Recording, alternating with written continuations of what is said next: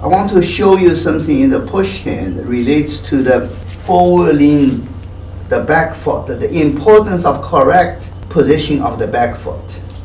You see, if you pull me, say, yeah, you pull me. Now I'm leaning forward. Ability of leaning forward, how much you can lean forward, Mhm. has to do with the heel. Mm. If this heel here lift, you see, Oh yeah, you come forward. will go forward. Mhm. But when you are leaning forward, your heel has to be firmly on the ground, the back foot heel, right? And uh, you want to feel stretch. So this stretch of the back foot counterbalances my body leaning forward, so I could leaning forward more.